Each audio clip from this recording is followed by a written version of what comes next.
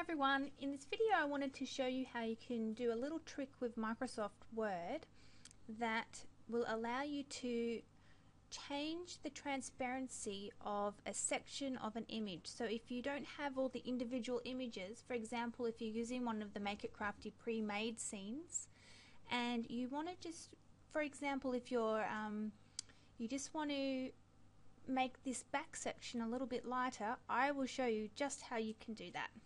So what you want to do is you insert your image like you would any other time.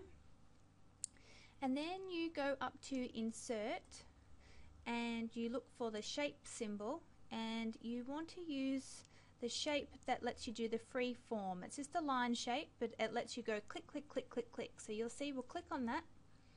And then um, what I'm going to do is go right over the top of the image and just click, click, click and continue to do that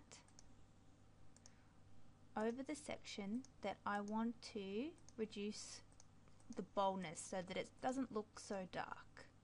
And we're going to do that. And as you can see it's given it a blue um, we've covered it with blue but of course we want to change that. So we're going to change that to white. So we're going to shape fill and we're going to change that to white. And it's put an outline. So we want to get rid of the outline. So we're going to go to shape outline. And we're going to click on that and go to no outline. Now as you can see it's all completely disappeared. We've just gone right over the top. But what we want to do is we want to right click on that and we're going to go to the format shape.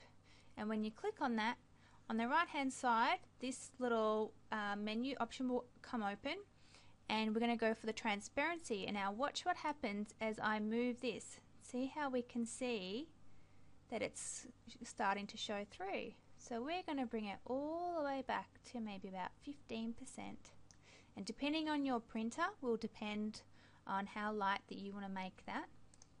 And so now you can see that that little section has we've done a very sneaky little trick and put the white thing over that and change the transparency of the white shape so that we can only see part of or the lighter version of the black lines.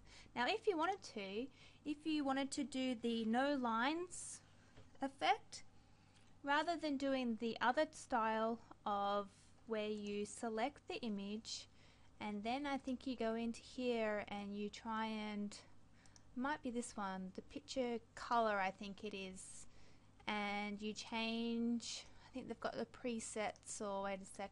I don't use this so I'm not quite sure. Ah, okay. Under the recolor it's got the washout and so you can't actually do any other changes. That's as light as you can go. So if we leave that as normal and instead we go up to the shapes and we select the square or the rectangle, you can put your rectangle right over the top of your image and do all of the same things that we just did. So we can go to the white, do the shape outline as zero, and then we can go, because we've already got the format window open, we can click on the format, and then you can change the transparency of the whole image just like that. So there you go, there's my little trick for you today. I hope it was helpful. Thanks everyone, bye for now.